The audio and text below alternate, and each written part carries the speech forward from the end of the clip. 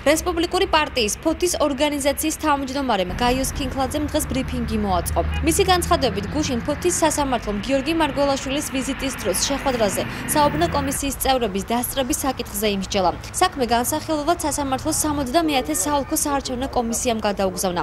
გაიოს კინკლაძის განცხადებით, სასამართლომ 6-ვე წევრი გაამართლა და კანონმდარღვევება დარწმუნა. რესპუბლიკური პარტიის ფოთის ორგანიზაციის თავმჯდომარის განცხადებით, 6 საუბნო კომისიის წევრიდან მის პარტიაში 3 ადამიანი რიცხება.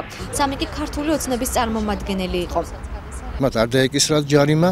ეს კიდევ ერთი ფაქტია იმისა, რომ ფოთში არჩევნები დასრულდა, უკანასკნელი ფურცელის გადაიშალა, ეს არჩევნები იყო მაგალითო ქალაქისთვისა და მთელი ქვეყნისთვისა. სულ მალე არის ადგილობრივი არჩევნები, ძალიან მნიშვნელოვანი ყოველ ჩვენგანისათვის და ასეთი არჩევნები ადასტურებს იმას, რომ ქართული საზოგადოება და განსაკუთრებით ფოთის მოსახლეობა მზად არის რეალური ნამდვილი თვითმმართველობის დაფუძნებისათვის და ჩვენ უნდა მოემზადოთ ადგილობრივი არჩევნებისათვის და ღირსეულად ჩავატაროთ იქ.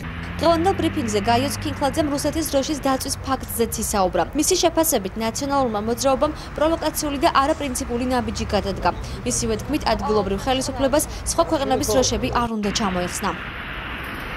ეს იყო არასწორი ფაქტი, ჩვენ უნდა შეგვეძლოს ნორმალურ საზოგადოებას, ჩამოყალიბებულ საზოგადოებას, უნდა შეეძლოს რუსეთის დროშის უკან დაინახოს ფესტივალში მონაწილე ბავშვები, რომელთაც შეიძლება რუსულ დასასრულს არიან, რუსულად ღერიან და ცეკვავენ და რუსული დროშა უკავიათ ხელში და უნდა შეგვეძლოს დავინახოთ რუსული დროშა, რომელს უკანაც დგას თქვა პუტინი, ან დროშა, რომელიც აღმართულია ტანგზე.